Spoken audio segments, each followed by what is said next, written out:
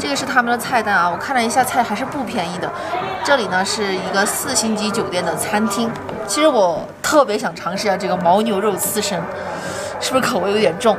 但是呢，我这两天胃很痛啊，这个是冰的，我再考虑一下要不要点这个啊。牦牛肉刺身，这个是一百二十八一粒。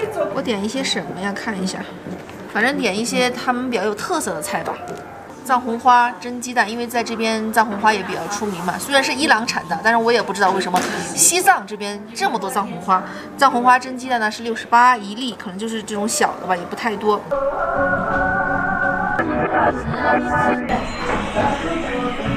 他们这里的装修风格啊，我还是很喜欢的，就是这种典型的藏式风格。然后我们是坐的中间这样一排，全是那个长桌子，感觉挺好的这种氛围。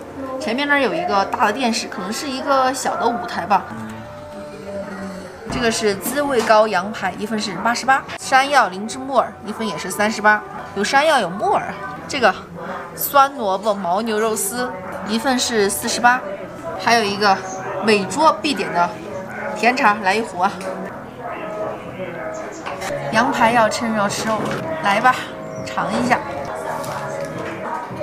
哇哇，肥瘦相间的，上面是一块肥的，下面是瘦的，还是有一点点膻味的。哇，特别是这个肥的，膻味还比较重，比瘦的好一点，瘦的就没有那么重的膻味，但是也在接受范围之内，还可以。烤的也是比较焦，羊排里面呢还有这种烤土豆啊，还有烤红椒啊这些，嗯，挺好吃的。这个是酸萝卜牦牛肉丝，我们来尝尝。这个挺好吃的，没有一点点腥味和膻味，而且这个牦牛肉还是比较嫩的。这个萝卜呢也不是太酸，我第一次吃这样的，还加了辣椒。这个菜不错，推荐一下。如果说配上一碗米饭的话，这个挺下饭的。对啊，能吃的。阿姨啥不能告诉的东西？肯定保密呀，包括我们的茶叶，我们都是保密。刚刚一看菜单我就说了嘛，像血一样啊。还有还有辣椒好吃。有辣椒啊，还有不能告诉我的东西啊。呃，还有调料不能告诉你的。哦，好的。牦牛肉刺身我没有点啊，但是我点了一个更生猛的，这个知道是什么吗？生牦牛肉酱，看一下，还是红的，我觉得给它取个名字吧，血腥。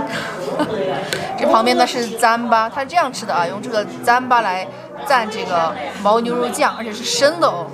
我的天哪，这个尝试真的是我的史无前例啊，我第一次。我先闻一下啊。还是有一股生肉的味道。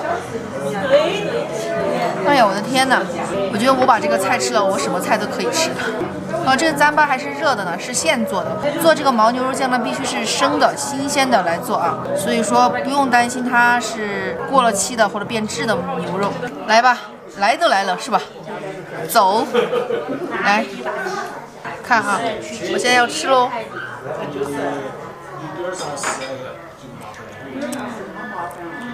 嗯，这糌粑好扎实啊！这个酱我倒是没有吃出什么怪味啊，但是糌粑有点太扎实了。你再蘸一下啊。就是，嗯。就是感觉不是太大的，也没有什么太多的怪味，就里面放了有味精啊、盐这样提鲜嘛，小米辣这种生拌的感觉。里面肯定还有香料，但是我吃不出来是什么香料，因为人家都说了不可告人的东西。啊，这这个糌粑我还有点吃不惯，因为我以前吃的糌粑是有味道的，有甜味或者咸味，但这个糌粑呢就什么味儿都没有，比较粗糙的那种感觉啊。吃一个的话，我感觉都能饱个三四成了。来给你们尝一下血腥的感觉。来，我现在放个大招啊，直接吃看是什么感觉。哇，好凉啊！但是可以接受的这个味道。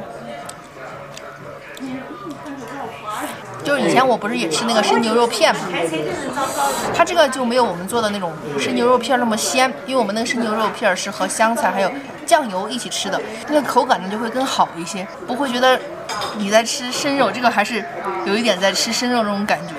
这个菜单总结啊，不要轻易尝试，口味有点重啊，我要先消化一下，先吃点别的。这个牦牛肉饺子呢，就当今天晚上的主食了，我来帮你们尝一下。哎呦，刚刚那个还没缓过来那个劲儿，胃里有点不舒服。它蘸的是辣椒酱。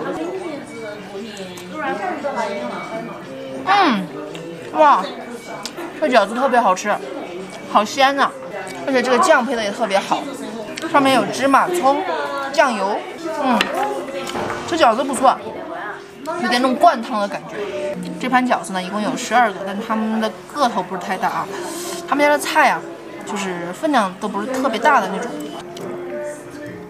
这个生牦牛肉配糌粑呀，是一道很特色的藏餐。其实他们的这个菜单上都没有的，因为很多人其实真的是接受不了。但是呢，我们为了挑战一下，所以说强烈要求老板给我们做了一道，但是我们真的征服不了。